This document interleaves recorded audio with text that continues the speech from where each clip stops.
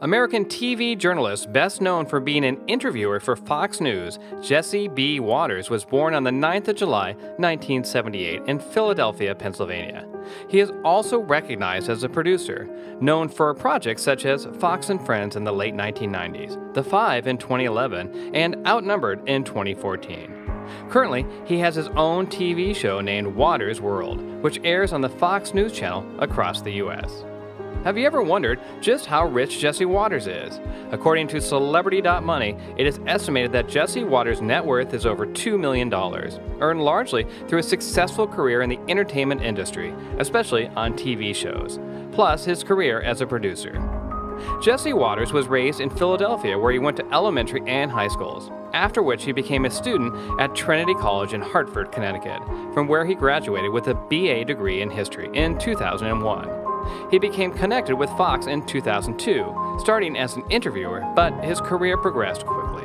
In a few years, he became one of the co hosts of the show The O'Reilly Factor and struck a chord with the public with his on street interviews, which subsequently became a regular and the most popular part of the show, entitled Watters World. Of course, his net worth rose too, with each boost to his popularity.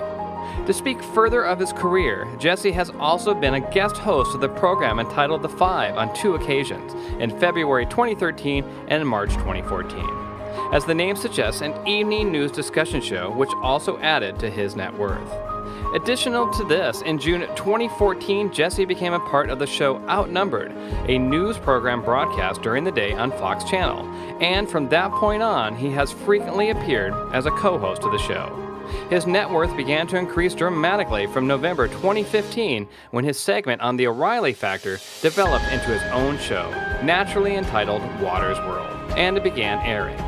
Most recently, Watters is also a guest with Bill O'Reilly and Dennis Milleron on the Spin Stops Here Tour 2017, and is now the co host of the Five TV talk show. When it comes to his personal life, Jesse Watters has been married to Noelle since 2009, with whom he has twin girls. In his own time, Watters is very active on social networks such as Facebook and Twitter. On Facebook, he has 200,000 fans, and on Twitter, almost 100,000 followers.